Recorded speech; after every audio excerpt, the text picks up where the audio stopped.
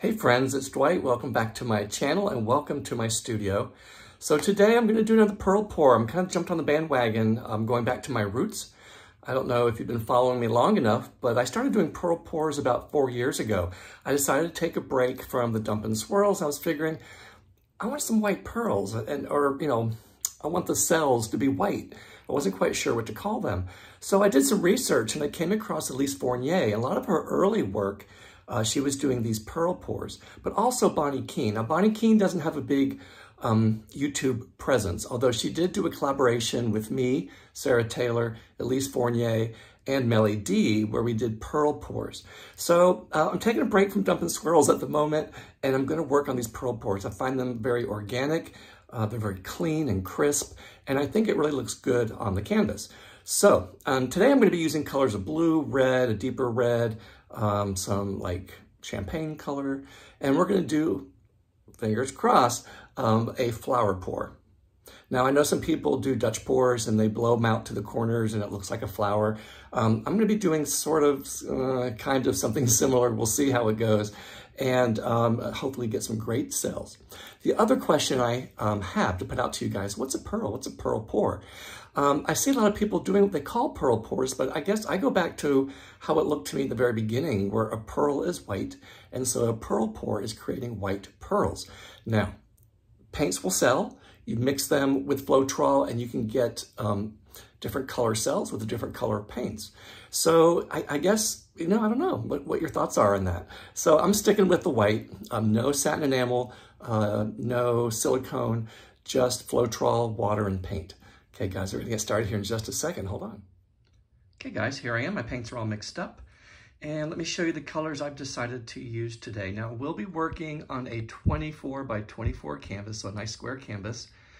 I've got all leveled out. You can see my level right there. Um, yeah, so this is a, a deep red. Um, it's what it's called, deep red by Artist Loft.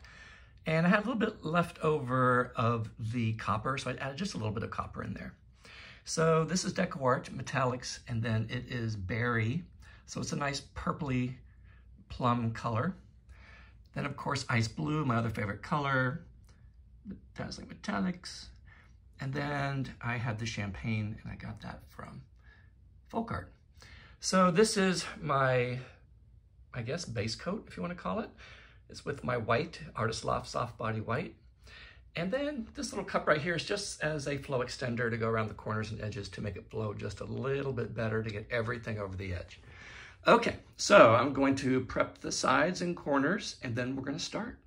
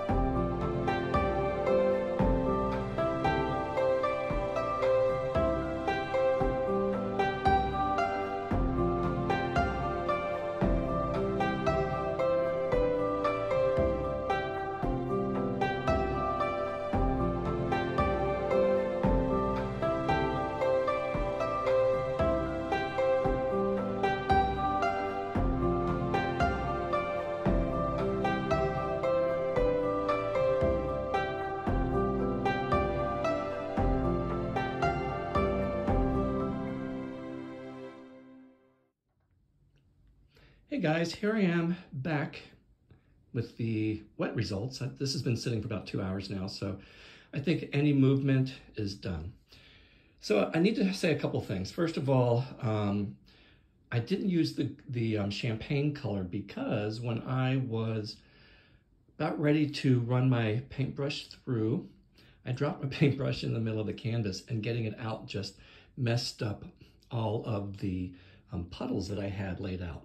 So what I did was I just scraped it. I know this is a dirty word, but I scraped it and um, repoured with the blue, sort of the red, and then that sort of deeper purpley red, which I don't even see looking at this on here. So this is what I consider a pearl pour um, because pearls are white. This looks white to me. Um, the base coat created these beautiful cells, pearls. And I'll move in and show you, there's some interesting features about some of these. If you look closely enough, well, my phone won't move in, but you can see some of these interesting features. See the edges, they're sort of like, um, not quite fractal, fractals, but kind of like fractals.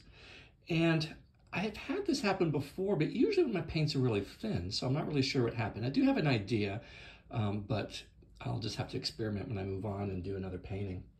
But this is what I consider to be a pearl pour, like I said. I mean, it's white, it's clear, it's crisp, it's clean, and that's what I'm going for. Um, I like that with my pours. So if you have any questions, hey, yeah, feel free to um, send me an email at dwightpours at yahoo.com or in the notes below. I'll do my best to answer them the best that I can. If not, we'll see you again later this week and we'll see what we come up with. Okay, friends, take care. We'll see you soon.